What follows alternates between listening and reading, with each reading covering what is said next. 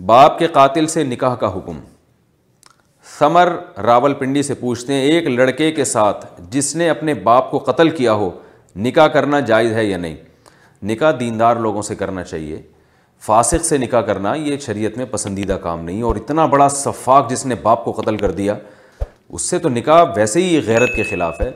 और क्या भरोसा है जिसने अपने बाप को कत्ल किया, कल लड़ाई में आपको भी कत्ल कर दे वो? तो बाप तो ऐसा रिश्ता होता है कि उसको कत्ल तो सवाल ही पैदा नहीं होता। तो और उससे क्या भरोसा किया जा सकता है कि जो बाप पे हाथ उठा सकता है, वो बीवी पे क्यों नहीं उठाएगा? हाथ तो आप, कोई भी है, इस तरह उसको इस निकाह से इज्तनाब करना चाहिए। हाँ अलबत्त किसी ने तोबा कर ली हो, पहले ज़िंदगी बुरी हो, अब तोबा कर ली और तोबा के आसार भी ज़ाहिर हो गए हों। आसार का मतलब अब अमाल से पता चलता हो कि ये पूरा चेंज हो चुका है।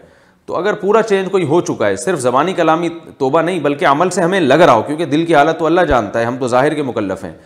तो देखने में लगता हो कि वाकई ये चेंज हो चुका है, मुकम्मल, और ये पहले ज़िंदगी अलग थी, अब ज़िंदगी अलग है। तो जब इतमान हो जाए तो फिर निका करने में इन कोई हरज नहीं है।